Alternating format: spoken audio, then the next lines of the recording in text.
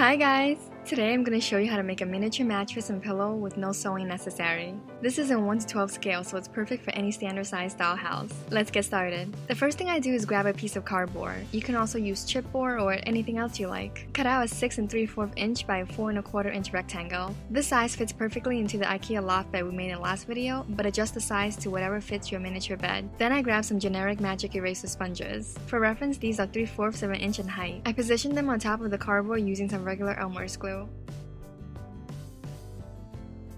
I have a little edge left here so I glue on another sponge and cut the excess off. This stuff slices like butter. You don't need the glue to be super strong.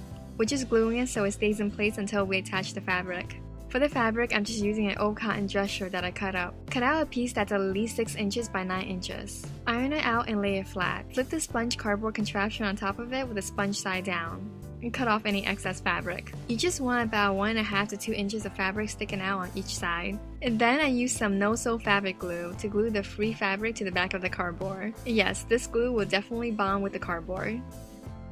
For the corners, make sure to tuck in the extra fabric for a clean look. Just push your thumb along the corner so the extra fabric gathers at the bottom. Then pinch the extra fabric and pull it up and over ensuring that the tuck is right along the corner. Do that for all four corners.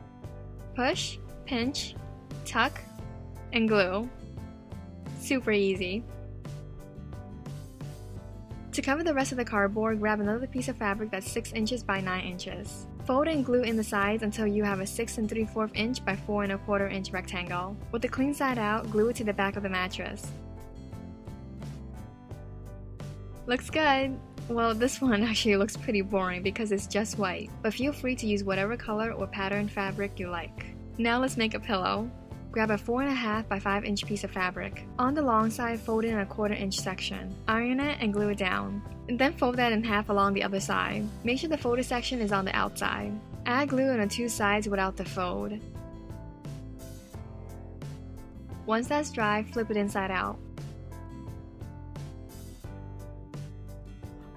And there's your pillowcase. It couldn't be any easier. I just took some batting material and stuck it inside the pillowcase.